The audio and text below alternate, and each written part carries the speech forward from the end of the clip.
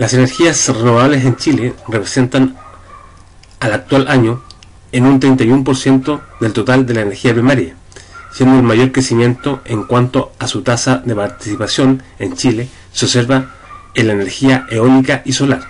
A continuación destacamos los tres tipos de energías renovables, agua, viento y sol, que representan las mejores perspectivas de desarrollo en Chile.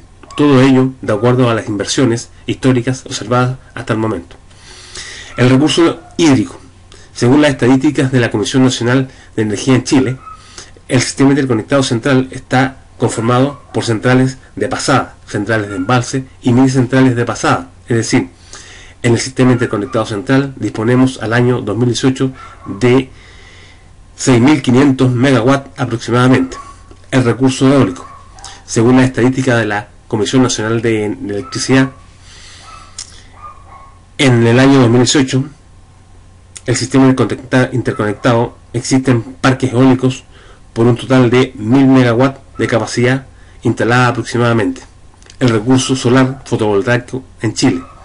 A fines del 2017 se encontraron en operación 500 megawatts eh, en el sistema interconectado y 100 megawatts en el sistema interconectado del Norte Grande, de acuerdo a las instalaciones estadísticas que entrega la Comisión Nacional de Energía.